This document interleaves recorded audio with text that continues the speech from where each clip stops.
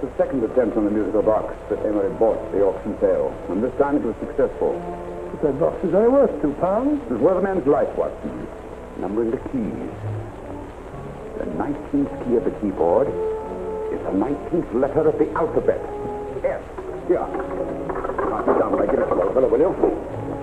I knew you'd be unable to resist the bait of my cigarette, having read with great interest your monograph on the ashes of 140 different varieties of tobacco. I should advise you not to move, Mr. Holmes.